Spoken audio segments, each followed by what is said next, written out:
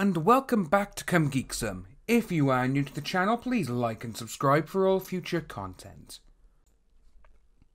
You know, when you go through Twitter, sometimes certain tweets catches people's eyes, and this set of tweets caught my eye. Again, mostly because it's a lot of things that people they don't do a lot of investigation on. They don't look into things and they automatically, because someone said something, they automatically think that's right and nothing has ever been done against them. So, what we're going to look at is something here. It's actually from someone on KV, and this is what they've had to say. This right here needs to stop. I don't care what you think, but the people harassing anyone who spoke out against the VM chose to harass us. It is very easy to not dox or send threats, and for some, the threats are daily. They did not have to harass anyone, all in capital letters, to try and get their point across. But the thing is, though, this person is nothing but an idiot. Mostly because of what I'm about to show you now.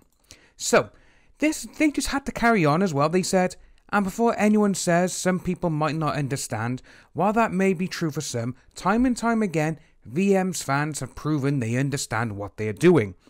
And then you had someone then, they shouldn't have harassed any one of us or send us death threats. First of all, people who have been throwing these death threats around, everyone on I Stand With V has been asking to see these threats and from the um to see who the who has sent them.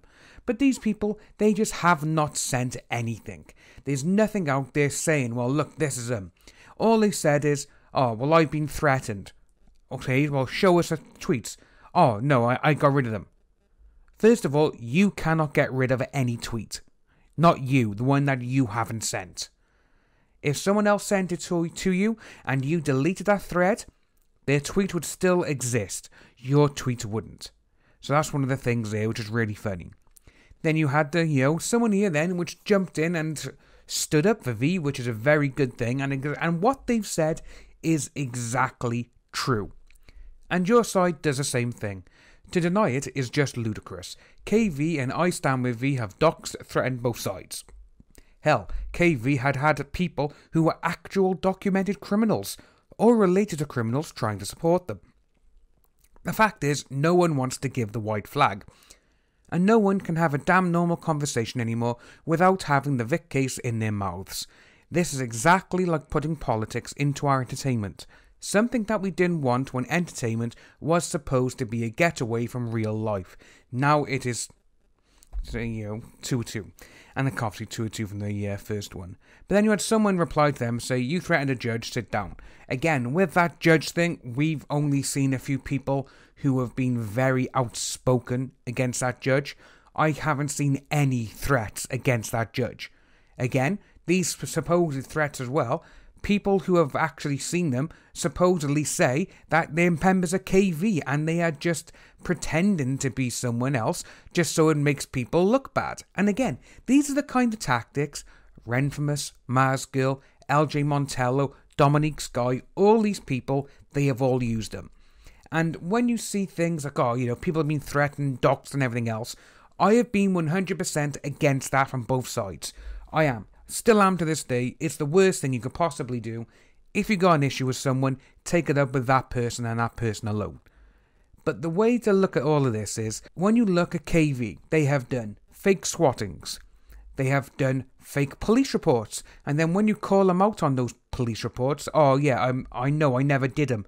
Oh, it was my friend. Well, give us the name of the police station, whatever, you know, public records in America, you can find it. Oh no, we didn't do it in the end that sort of thing, you know? They've done all of that.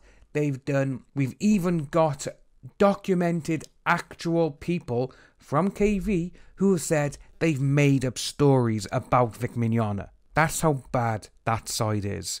But again, people who are supporting Monica and everyone else, they don't look into that. All they do is they follow Monica, Jamie, all these people, they follow their accounts, and if they say block someone, they do it because they are nothing but sheep. That is the problem. If you have an if you have an opinion about something, come speak to us. You know, if it's an opinion, we're not going to block you, and we're not going to harass you. We're not going to do anything. You want to chat with us? Come and chat with us. We will chat with you. However, if facts get thrown your way and then you block, that just goes to show you haven't got a valid argument and all you're going to do is try and insult people. That's one thing that I think is actually really funny about this entire situation. You throw facts at people and they block you. That goes to show they do not like having facts thrown in them. They just like seeing what other people have said because they believe what those other people have said. But we're going to end the video there because it's a bit of a rant that's gone on a little bit longer than I expected. So if you are new to the channel, please like and subscribe. Hit that notification bell for future updates. Pass the video far and wide. And I'll see all you wonderful people soon.